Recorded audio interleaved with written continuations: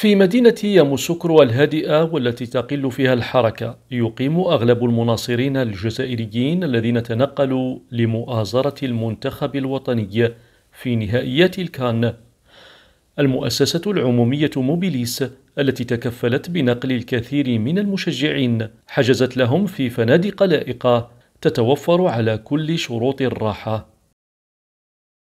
قاموا بنا أوتيل شابة ماكلة شابة. كل شيء حاجة شابة شابة بزاف. وفروا لنا الكيران نروحوا من l'hôtel الملعب يدونا يجيبونا.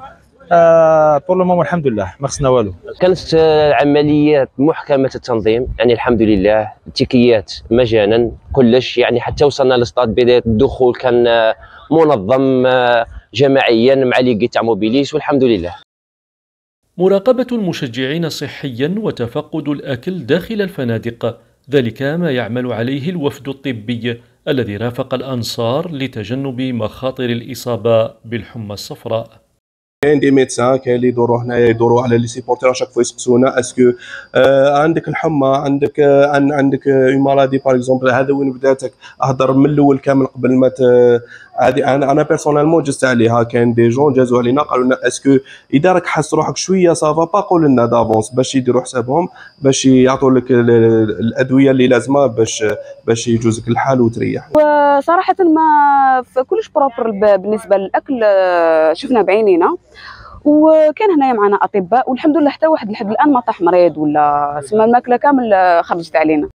الإيفواريون عبروا عن سعادتهم وترحيبهم بالأنصار الجزائريين الذين رافقوا الخضر في هذه الدورة. مناصرو المنتخب الوطني موجودون في أحسن ظروف في كل الفنادق في هذا الحي. في الحقيقة أخلاقهم عالية. مرحبا بهم في ياموسوكورو ونتمنى أن تلاقي كوت ديفوار الجزائر في المباراة النهائية. أنا جد سعيد لحضور الجماهير الجزائرية إلى كوت ديفوار. أتمنى أن تفوز كوت ديفوار بكأس إفريقيا. والكأس ستبقى في كوت ديفوار. كل ظروف الإقامة والتنقل إلى بواكي وفرتها موبيليس لمشجعي المنتخب الوطني مع تأطير وتنظيم الأنصار لحظة الدخول والخروج من الملعب.